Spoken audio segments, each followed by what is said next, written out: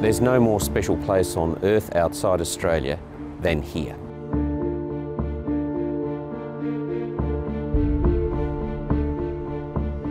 This place reminds me of who I am, the people who made me who I am and gave me what so often our generation can be tempted to take for granted. It was said that hell now has a name.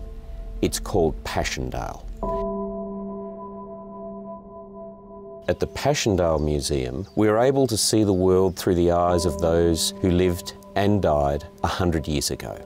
And in the end, it's not about war, it's about love. It's about love of one another, of family, and love of country.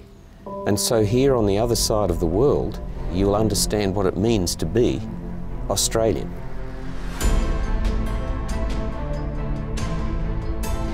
Then it was a bloody moonscape, but today it is a place of beauty and serenity and peace and much emotional reflection.